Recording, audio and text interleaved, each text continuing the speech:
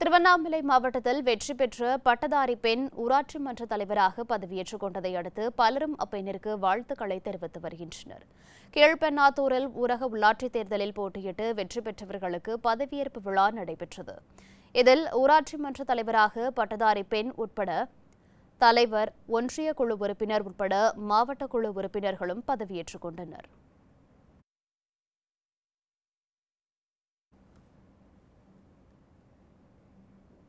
அதேபோல் சிவகங்கை மாவட்டத்தில் நடந்து முடிந்த உள்ளாட்சித் தேர்தலில் மாவட்ட ஊராட்சி வார்டு பதவிக்கு போட்டியிட்டு வெற்றி பெற்ற எட்டு பேரும் பதவியேற்றுக் கொண்டனர்.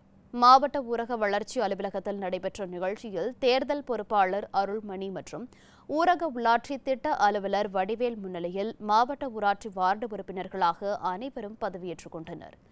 இதனைத் தவிர தமிழகத்தின் பெரும்பாலான பகுதிகளிலும் ஊரக உள்ளாட்சித் தேர்தலில் வெற்றி பெற்றவர்கள் பதவியேற்றுக் கொண்டனர். இது போன்ற முக்கிய வீடியோக்களை உடனுக்குடன் தெரிந்து கொள்ள நியூஸ் ஜே யூடியூப் சேனலை சப்ஸ்கிரைப் செய்யுங்கள்.